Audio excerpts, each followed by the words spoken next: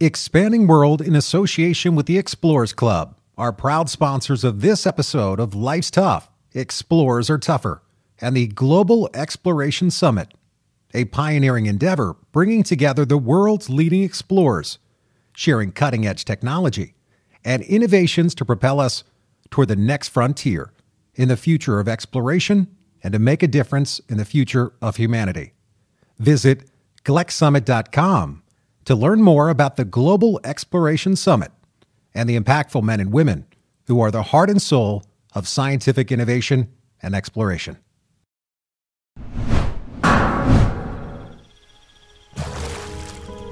One of the things I find most interesting when two explorers get together is we sort of trade stories. This is Life's Tough, but Explorers Are Tougher. I'm your host, Richard Wiese. I love the outdoors. I always have, and I always will. I've heard stories that would make the hair on the back of your neck stand up. Explorers are the type of people who walk in space, go to the bottom of the ocean, and stand on the highest summits. Scratch the surface of any explorer, and you'll find they're all storytellers. This show is about their tales.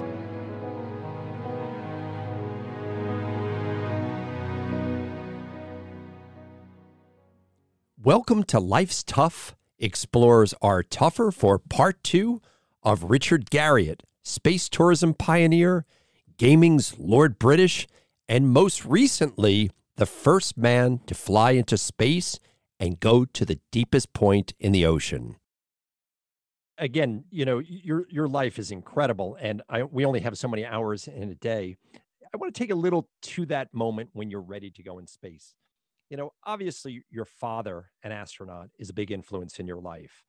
And when you went for a launch, I've seen the video uh, of your father and your family on that launch pad.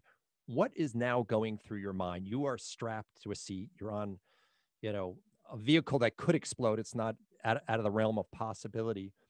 But there had to be so many things at that moment that are going on in your mind you know during that countdown yeah well you know launch day is uh, you, you you've rehearsed it all many times but it is profoundly different than any of the rehearsals. You know, you you're still getting up in the morning, putting on the you know spacesuit that you put on already in rehearsal many times, but this time there's now a crush of press and family out you know behind a glass wall, and you ride out to the launch pad and you've you've you've actually seen the rocket in pieces and you know while it was being assembled just recently you know before it was the final assembly was stacked and put up on the pad but you ride out to this vehicle that is now fully fueled, sitting on a launch pad. And when you walk up to it, not only is its enormity clear to you, but it is alive. It is full of cryogenic materials that are outgassing and valves are popping. The side is covered in frost. The, there is condensation streaming down the sides of it as it kind of creaks and groans. And you can you you can walk up and put your hand on this explosive animal and that is a moment of awe unlike anything i'd ever experienced before do you and, remember the last thing your dad said to you before you you know the last thing he said before you sort of went into there uh you know uh he was there with me right as i walked up the ladder but i don't think he said a single word i do remember very well i mean this is very my dad he, he, he put his hand on my shoulder gave it a little tap and a little squeeze and a smile that is sort of my dad's send off. And so that's that's what I got at that moment too. And then as they take your first step onto the ladder, uh, one of the Russian generals gives you a kick in the butt, which is a, a, bit of a rich. There's all kinds of Russian rituals. This one of them is you get kicked in the butt as you walk up the steps. And so I'd forgotten about it until it happened. You you know you get in this little rickety elevator that literally rickety and clinkety clankety clinkety clankety right up at the very top, and then you squeeze into this capsule that you've been inside of many times. You've been in other capsules a lot, but all the other simulation capsules, which are used capsules, they've cut out the hole in the side of it to make it easier to get in and out. And so this is the first time you're at the top of the stack, climbing in through a little hole, down through another little hole. I'm the first one to go in, so you're feeling around with your toes in the cold and the dark, hoping to not knock anything off that makes you have to get out and have somebody go back in and fix it. So you're being very, very careful. and I am actually the person who turns it on and brings it to life. So the you know turn on the first power button, all the displays come to life. How turn exciting. on the lighting, all the How exciting is that? Totally. And I'm literally the only one in the rocket. And only after I get everything configured do I then use the radios to tell the people back on the outside, well, I'm ready now for the, my crewmates to come in. And so, uh, yeah, so that part is awesome. And, but one of the funniest moments comes when uh, after you're all, you've gone through all your checklists and the machine is now configured. And so in theory, you could launch in five minutes. However, there's a hold in the countdown for almost an hour.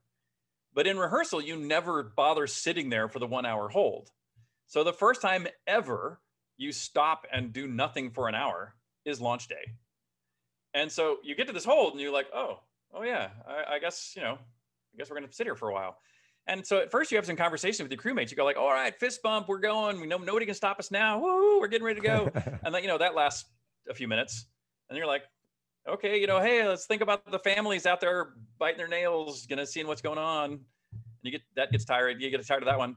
And so then you actually fall asleep. So all three of us just just you know snooze because what else are you going to do? You're strapped in this seat for an hour. And and at that point the people in mission control turn on like this elevator music da, da, da, it's like herb alpert you know, coming over the radio. And we all just break out laughing you know just because we're all just just waiting. And then finally at the end of this hour the capcom gets on and says okay here we go. Immediately your your body switches modes again. You go through those last five minutes of checklists and you know and and, and the next amazing moment is the, the moment of launch which is completely different than i had anticipated. Because in the united states we bolt our vehicles down until the thrust is at its maximum rate and every, all the engines are lit and everything's running fine and then we explosively release those bolts and so that rocket begins to go at full acceleration from the first moment it is moving in Russia, it's not that way. In Russia, it's actually gravity holding the rocket down onto some brackets that are holding it just above the midpoint of its center of gravity. And so, as soon as the rocket engines have given thrust greater than the mass of the rocket, the rocket begins to lift, but imperceptibly. And so, when you get to the point of liftoff, I expect to feel something, and you feel nothing. And so you're going like, "Oh, what, did did the did the engines light? Are we actually moving? And you don't have time to stop and ask because you're still doing your checklist. And then a few moments later, you begin to feel the gravity increase, the pressure in your chest begins to build and build and build and build and build until there's basically you know an elephant sitting on your chest and so you're going like okay we are really really moving now and so uh, uh, uh, but but the transition into flight uh, was was uh, completely different than i had anticipated you know, it's interesting because if I drive my car and you drive it enough times or somebody flies an airplane, I remember an astronaut, Story Musgrave, who you know, saying that he could hear the sounds of of vehicles that he were, was flying and he could tell how they were performing. At any point in that launch, are you saying that's not a groan or a a sound that I thought I would hear? Was there any point where you go, I hope this is right? Or, or are you thinking it's all going smooth at that point? Uh, on the way up, it all seemed very smooth. Um, my job, by the way, on the way up, one of my jobs was that I had the emergency procedures manual. And as you go through launch, you after you get to a certain point, the abort procedure means to do one kind of thing. And after another point in the flight, it's a different set of instructions if there was an abort. And so I am thinking about abort a lot. And so I am thinking about you know if there's an abort here and this and the escape tower fires we're going to feel a jolt and i will need to be on page five. And so i and so i'll you know i have my other book going to page five. So uh, and then later turn to page 10 you know so i'm i'm sort of keeping the emergency procedures up to date while i'm also doing a few other checklist items. But there was never there was never any part of that that i that i that seemed off. I was always paying attention but nothing ever seemed off that was actually not true for reentry and even in one, one time on orbit. That we actually had a fire alarm go off while I was on orbit that made us go through some emergency procedures, which turned out to be nothing. And on reentry, we actually had multiple malfunctions. And the two previous Soyuz reentries before mine had very serious malfunctions. So we were we, we didn't have that particular malfunction, but we had others. And uh, uh, and so you know malfunctions though are something that, again, having grown up with it, really helped because I realized, having listened in on those squawk boxes, that malfunctions happen all the time, and there's procedures for them, and you know they've all been worked before. Whether they really had ever happened or they were theorized to have to be able to happen, there is a procedure for it. And so I actually felt very comfortable with all the procedures, even through the malfunctions I experienced, because there were things we had trained for. I mean, it, it almost seems like a metaphor for life. Life, you're going to have malfunctions, and there's always a procedure to get out of it. So the question I have is so, in fact, you and I, I think, were part of the same discussion with Buzz Aldrin, talking to him when he walked on the moon. And one of the things that always struck me, talking especially to Buzz Aldrin, was the lack of an emotional connection to what he was doing. He was very driven by procedures. And when you ask him, uh, I've even asked him, when you look up at the moon, what do you think? And he goes, nothing really all that much because I was so focused on the mission. Is there any point in that mission where you get a little teary eyed and say, oh my God, I'm here? Oh, absolutely. Uh, uh, but by the way, uh, but I'm going to rewind to a letter I got from uh, Alan Bean, who was another person who walked on the moon and flew with my dad on Skylab. When he heard that I was flying, oh, and another thing to point out about Alan Bean, he's an artist. Uh, I should say he became an artist at post-flight. I'm not sure how much of an artist he was pre-flight. He became a very, very good artist. Um, his pieces sell for you know enormous amounts of money. Uh, and uh, Alan wrote me one of the nicest letters I've received, which he said, "Hey Richard, I'm thrilled that you're getting this chance to go one, I know you've wanted to go forever. So I mean, it's you know, it's it's at long last. I know you're fulfilling a life stream. But he also said it's also really important that you or people like you go, because while your father and I were these Spock-like characters that, frankly, did not do that great a job verbally relating this experience in, in an inspirational way with others. I know you well, and I know that you are you describe things passionately about anything you do with great or any small or big thing you do you describe with an amazing level of passion so he said it's actually going to be really good that you go for others that, that will that will help us communicate what's what's happening and and so when you ask about the emotional thing that happened uh, up in space it's interesting that you know people would often ask you know what advice did your father give you and the answer is uh, not much and, uh, and my, if they asked my father that he would say I didn't give him any advice. He actually knew everything he needed to uh, go before he went. But he had already been a mentor, Richard. I mean, he'd been a mentor. Oh no, of course he has. But there is actually one. There is actually one thing that he did that is particularly important, which is he actually said, and this he said it this dispassionately. He said, you know, the one thing that you will remember for the rest of your life is the view of the Earth out the window. And so when we are planning your schedule of activities on orbit, because I had a very heavy workload, one of the things I did was I took on a very heavy experiment load and commercial payload work uh, load. He said, if it's daylight and you're over a continent, I'm going to either have you in free time to look out the window, or if you're doing some work, it'll be work that you can do at the window, because that's that's the most important thing for you to do. And if it's nighttime uh, or you're over the Pacific where there's nothing to see, uh, we'll do some other work elsewhere. And he ran my mission control team and did my whole schedule both originally and live in real time as it needed adjustment.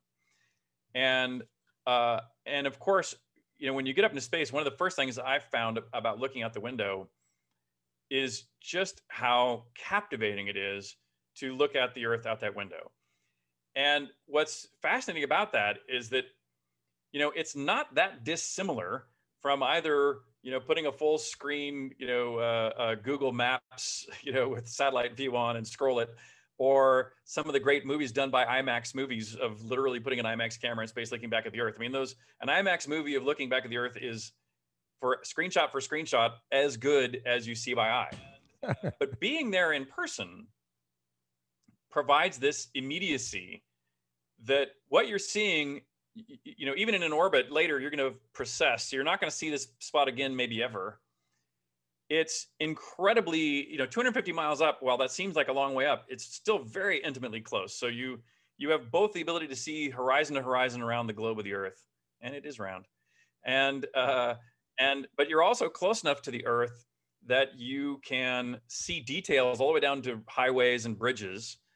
Uh, and so it feels like there's this fire hose of information about the world we live in just pouring into your mind by just staring out the window. And so you see things like uh, the edges of all the tectonic plates, you know, which are kind of cool to see the ring of fire, et cetera.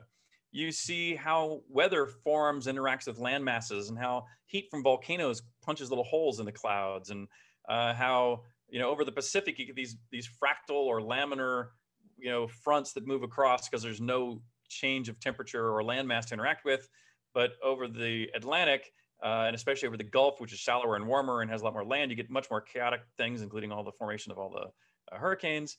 You know, you see all the soil or pollution rivers are carrying out into the oceans and the big plumes of either pollution or soil that they're making. You wonder about whether that's pollution or soil or some mix. And you think about the dead zones that of deoxygenation, uh, you know, due to fertilizers in the water and things. You, all these things that you hear in the news, you're now seeing directly, and you're going, you're trying to put it all together, and you're seeing how we're pop, pumping up fossil water in every desert on Earth, and how there's roads in every desert on Earth, and there's roads through every forest on Earth, and there's passes of roads on every mountain range, and uh, dams on every river, and you, you, can see all the pockmarks of uh, the meteor strikes all over the Earth, and you're just you're just glued to this this experience out the window and after you make about 100 orbits, something profound happens, which only after my flight, I have learned that it was called the overview effect.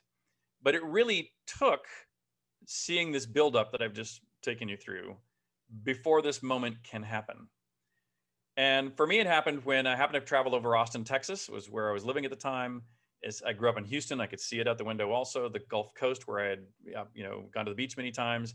I had hiked and biked and explored this area in detail, so I knew this area like the back of my hand. I knew its scale and I knew its detail. And at the same time, I could see the rest of the Earth that I'd just been around a hundred times, paying very close attention. And suddenly, I realized I now know the scale of the Earth by direct observation. And suddenly at that moment, I had a physical reaction, literally shuddered. The hair stood up on the back of my arm. Uh, uh, the visuals seemed to change, like in a movie, scary movie, where they'll dolly the camera back but zoom the lens in, so the actor stays the same size, but the hallway sort of comp- compresses. The Earth didn't change size out the window, but your conception of space just collapses. And it was a very emotional, very physical, instantaneous moment that has persisted for the rest of my life to where my sense of the size of the earth, the importance of uh, environmental attitudes, uh, the importance of being a, a part of the solution, sort of an activist part of the solution versus just standing on the sidelines. All those the aspects of my life changed at literally that moment. You know, it sounds like at that point too, there's a chapter of thinking uh, of, of Richard Garriott. You know, you and I are friends, and I always kid you that you're the next branch of human evolution of, of thinking. Do you think at that point it's now doing something within some recess of your brain, whether it be spiritual? You know, how did that moment change you now in the way you even think or approach things? Well, you know, it, it is interesting that, you know, um, uh, as explorers, you know, one of the things that I, I, think is great about all our brethren, uh, all within our fellowship, is sort of the realization that, you know, while uh, the famous firsts that uh, you know that hang on the walls of our of our club uh, were accomplished by the generation before us, that there is an enormous amount of exploration yet to be done both in the grand and in the small. Uh, and, and, in fact, you know, I, I worked hard to and, and, had to, frankly, you know, uh, uh, find excuses to be believed that I was a worthy explorer to get myself into the Explorers Club, and uh, and have found it, literally every one of our fellow members to be incredibly accomplished and inspirational. Uh, often, and again, going both from the great and the small, you know, whether it's folks like Fred McLaren talking about his taking submarines under the North Pole and punching up through the ice. He's the real deal. Uh, he's the real. He's the he's the real deal of the of the generation ahead of us, for real. Uh, or the people that are you know uh, using satellite telemetry to study ancient riverbeds in Africa, uh, and then map out the movement movement of the sand dunes to find when those riverbeds are exposed under the theory that if there was fresh water there, there must have been civilization there, which there was, as they go find lost cities that have never been discovered before. All the way down to something I love to participate in, which is uh, you know, microbes, all the extremophile microbes that on almost every trip that I make now, I bring back a vial full of mud and we find new life forms that have never been. I have been on one of those digs with you. And uh, it was interesting. You and I were in a fossil pit and yeah. you took uh, a layer of iridium from 65 million years ago. Yep. And you say it's it's on your wall somewhere. I'll ha- have to come yep. and see that. Richard, I, have got to ask you. So I, I know that the um, Russians or the former Soviets land differently. NASA astronauts they splash down in water they plunk on to the ground. Oh yeah. All right, you go you go through that and and you know that's got to be a whole story onto itself. But I did see a video of the crew that did come to pop the hatch and greet you.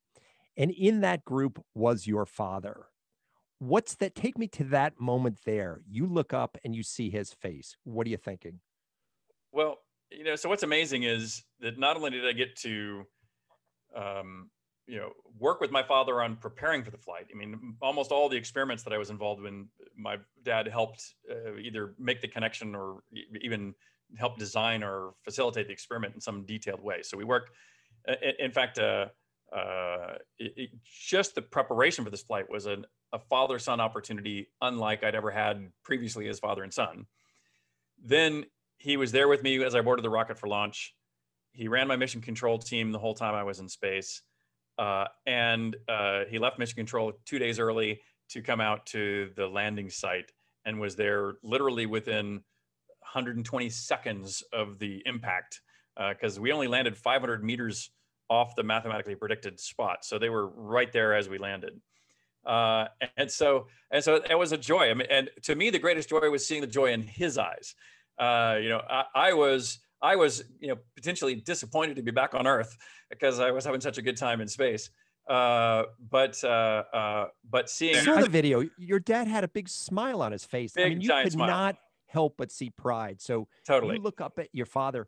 I mean, I don't think you have a heart as a human if you can't feel that emotion, that pride on both of you. Yeah. Well, and also what's also fun for this, and this is something my siblings uh, ribbed me about all the time, which was growing up. I was sort of the black sheep of the family in the educational sense. Both of my older brothers were straight A students and super accomplished. Uh, my younger sister also a basically straight A student, super accomplished. And I was never a, I wasn't even a B student. I was mostly a C student, occasionally a few D's in college, one F. Uh, and and I would and then I dropped out to go play games for a living. And and as much as that sounds uh, like yeah, but who cares? It did seem to matter in my family. It it really was one of these things where I got a lot of pressure from especially dad about my lack of performance in what seemed focus, like right focus important focus focus focus focus and and so i sort of had this journey with my dad's uh, you know where obviously the business stuff was doing very well. So he clearly respected the fact that okay, he's he's devoting an enormous amount of energy into this. He's doing this at you know a level of creativity and and and polish that no one else is. and so this the service is clearly deserved. But he was also like, this can't last. I mean, this has to be a windfall. This is gonna, you know, two or three years is gonna end, and you're gonna go back to school and finish your degree and go get a real job.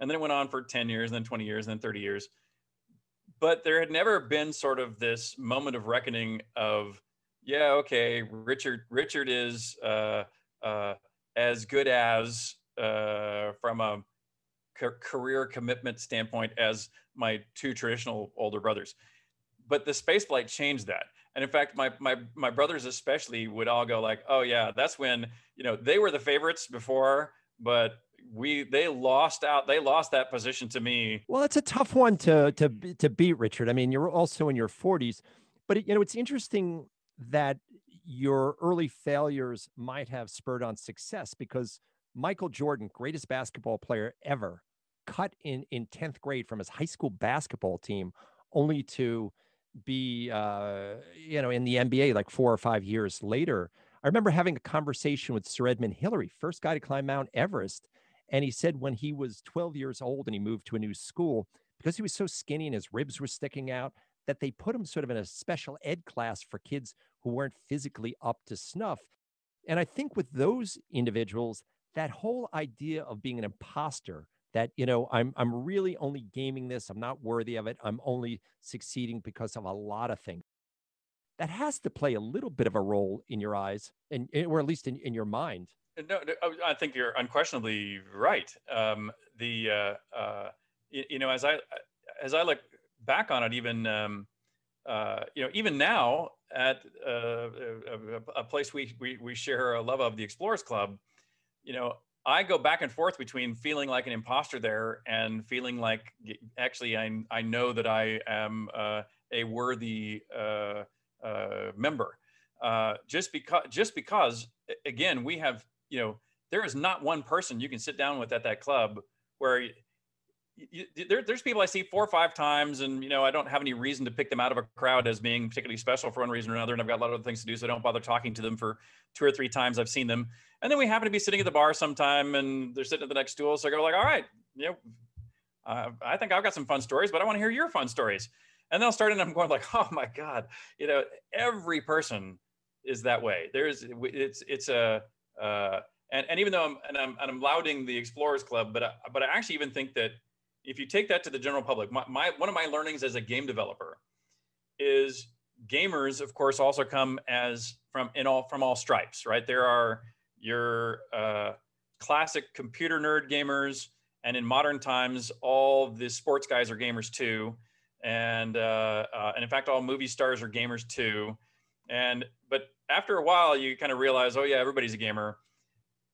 But until you sit down and talk to people and really kind of hear like, hey, what brought you to this space? I mean, and, and, in my case, for meeting a lot of gamers, I'm meeting people who have played my game, so they're wanting to come talk to me. But if you turn the tables on, I go like, okay, thank you know, thank you for, I appreciate the fact you played my games. You know, what are the games? What brings you here? And when you when you ask other people about their lives, you quickly realize everybody's had a pretty damn interesting life. You know, I mean, every all of us. Oh, Rich, I think you're you're up there, Richard. I mean, you know, and and one of the things that has always struck me about you, and you know, you and I speak often. We speak at least once a week, if not more. How normal you are. For example, I remember this past Thanksgiving, you sent you texted me your Thanksgiving table, which you cooked the turkey and, and did the design on that.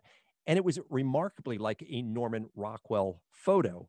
So for a guy who's, you know, made millions in the gaming industry, gone into space, yet I have seen you in, in incredibly normal things. Yesterday, you and I were talking before this interview.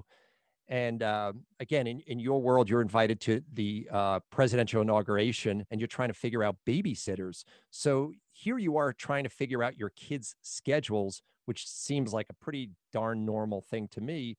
And yet you've done all these things. I think maybe if I were to give you uh, an attribute of greatness, is just the um, perspective, something your mother used in a different term. You have such a wonderful perspective on life, the individuals who inhabit it, and, and sort of your goals. And maybe that is the combination of your mother's art background and, and your father's science in, in melding it in, in a way that came out so well. So, Richard, you know, if I just first of all, thank you for that those words, but I, I, do want to throw one more piece in that. In addition to my parents, who I think are a big part of that, I, I also think it it was helpful to maintain that perspective by having both achieved and lost. You know, when you get one of these kicks in the pants that you know you you lose it all literally and and whether you mean money or just you know there was a period of time where every game i did was a number one bestseller.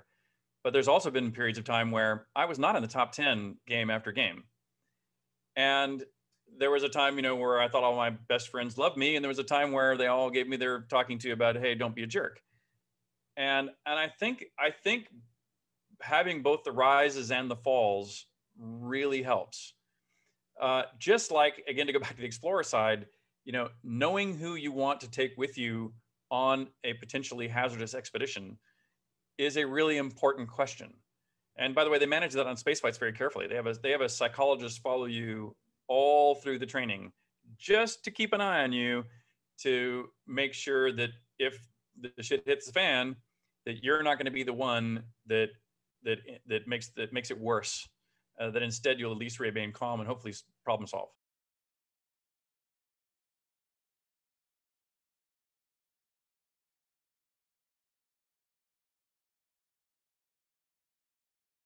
Time and space to time and life, you know, who you choose as your partners seems incredibly important and who you choose oh, as exactly friends. right. And, um, uh, uh, you, you know, and, um, uh, and, and, and then the same vein, realizing that, uh, you know, you within your team, within your expedition team, you know, you need to make sure you have all the skills you'll need covered. You know, you need to make sure somebody can operate the radios, somebody can, you know, manage to get our scavenge our food if we if we get stuck in the woods. You know, hope we have a hunter with us or whatever might be needed, and um, uh, and then after that, go like, you know what? Once I know that we have those covered and no one is gonna be a danger, well, then you accept everybody as they are. You know, everybody's got quirks, everybody's got. Uh, uh, you know, some my, almost all of my favorite stories about trips, like we were when we were down in the volcano recently. I think you know last year I went down in a the Masaya volcano in Nicaragua, and uh, you know one of the guys that was running cables for us was this old guy that had been down there running cables for years and was a uh, uh, had a you know he was in his 70s but had a teenage girlfriend and you know we're just going like wow this guy's just he's just he's just from another period of time and and, and not necessarily in all in, compl- in fully complementary ways but he was but he was such a genuine and nice character that uh, and his skills to do the important rigging that we needed at the time was unquestionable uh, that you know it just it just it just really enhanced the whole journey to be there with these characters who are competent and uh, uh and actually nice sincerely nice people and so, you know, that's what that's that's what you look for in in friends and partners and explorers. Richard, we just have like a couple minutes, and I'm gonna maybe do some rapid questions. And uh, would you ever go back in space? Oh, I hope to go any many times. I hope as soon as I can. Okay. Who is the toughest person you ever met? You know, who was the mentally toughest person you ever met?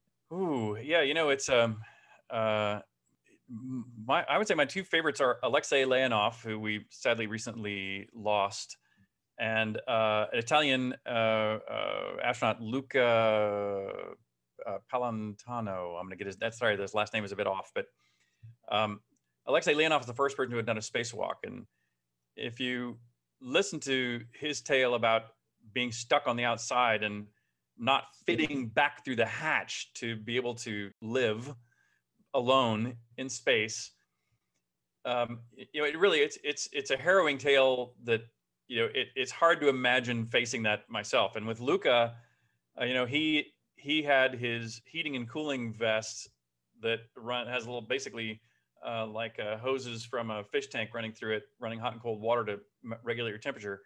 Uh, he had one of those lines burst and fill his helmet with water, so he was drowning at the International Space Station while on a spacewalk. Um, you know, th- those guys, the the calm, collected, methodical way they got themselves out of those phenomenally dangerous circumstances uh, are probably my my two most admired moments. Any, any, heroes outside the space industry? Well, I think you know, common to our uh, clan, uh, Ernest Shackleton is by far my number one. Uh, in fact, as soon as I read the book South, which was early in my personal journey into exploration, um, you know, and I, am and I'm a collector anyway. I mean, I collect medieval arms and armor and antique scientific instruments and all this kind of stuff. Uh, but I have a Shackleton collection, which is also uh, significant and is occasionally called on to be placed in museums and things that are doing Shackleton exhibits. So, uh, you know, I, I just find both the reality as well as the mythology uh, about him and how he pulled these things off to be astounding. You and I shared um, an evening with uh, I believe, nine living Apollo astronauts last year. That was a pretty incredible moment to have all those people, and, and you emceed uh, uh, uh, the group of them in discussion. I'm kind of curious. Out of those nine, was there anybody who sort of struck you as sort of a favorite or best of the best? Uh, well, Rusty Schweickart, who's still, you know, uh, all those guys are up there in years, 70s and 80s. Yeah. And uh, but but Rusty is uh, one one of my favorite astronauts in the sense of, you know, while a lot of the guys were either uh, military uh, test pilots, and so sort of have that attitude. So in addition to my my dad was in the first group of scientists. They're the Spock guys. Uh, the the the Mercury folks were the test pilots, and so they sort of have a yeah, you know, kind of they have a hard, fast driving, hard riding kind of attitude uh, in in their minds, and that's what a lot of those Apollo guys are too. But Rusty is an interesting character in that he's one of the few of that era that loves to just sit down and go, oh hey let's you don't know how this thing worked let's sit down together and let me show you how it worked or let's talk about how it went or um, you know he he he is he is he both has the historical perspective and he is a completely modern thinker in the sense of he has evolved with the times unlike uh, you know my father and many of the others who who might have gotten a little stuck in their in their but time. rusty's still working on things rusty's I, I, think working on a project to look at uh, meteorites or asteroids that might hit the earth so i mean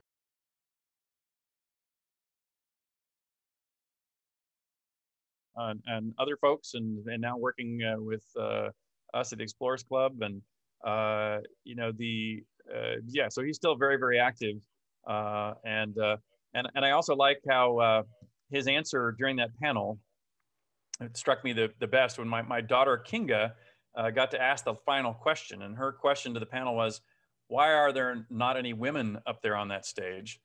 And one of the other astronauts answered, well, you know, the job back then was pretty tough, and you know, only us male test pilots were really up to the task. And and Rusty properly put him in his place and said, "No, Kinga, it's because we weren't as smart back then as we are now." Uh, which for which he got a you know a, a, a, a ovation. And, and, Richard, the last question: um, parenting. That's a whole other skill set that maybe isn't so easy to game. What's the uh, toughest aspect, and, and maybe what's the best aspect of being a parent? Wow, you know, that, so what, what's interesting about that is uh, I, I waited till I was literally 49.9 years old. I was, it was three days prior to my 50th birthday when I got married. Uh, my wife said, I won't marry if we wait till you're after 50 because she was still in her 30s at that time. And so I had kids pretty late. And so one thing I still reflect on is if I had had kids at a younger age, I actually don't think I could have or would have done a lot of the things I did manage to do because they, uh, it, it would have been difficult to have accomplished the things I managed to do if I also had kids around. That being said, boy, I wouldn't trade the kids for the world in the sense of I think it is, you know, one of the greatest joys at all is going and playing with my kids and watching their minds grow. But then also one of the toughest aspects of it is being analytical as self-analytical as a parent to going like am i really providing them the right level of nurture the right level of uh, opportunity versus grittiness. Yeah it's it's actually really um you know the fact that all of us as parents do it you know, one cycle you know one group of kids generally and uh, uh, and with no with no real training uh, and now i'm you know i'm i'm semi-retired professionally, so I have actually more time than most during this time of COVID, where most people are having to juggle being in a, uh, somehow working, whether it's in your office or via Zoom and Skype, uh, or uh, the kids manage the kids being at home through online learning, et cetera. It's incredibly complicated, and uh, and and I have an easier time of it than most, and so I, I'm just in awe of the fact that we haven't killed more of our children on accident, you know, just uh, through bad parenting in this period. I, I, think you'll do a good job, Richard. I have to say, I, I you and I speak often, so um, it's not like a, a, once in a lifetime opportunity that we're we're meeting for the first time. But I, I say this really on all corners of my heart. It has been a pleasure, and I, I think of you, and I think the world is a better place for having a Richard Garriott in the world. So thank you for being on Life's Tough, but Explorers are Tougher. Well, thank you very kindly, Richard. Uh, as you know, it's a mutual admiration society here. Uh, I've enjoyed uh, working with you uh, uh, with the Explorers Club, uh, the alma mater we both share and love, and you know, look forward to continued days of exploring together. Yeah, I, I think good things are in store for you, Richard.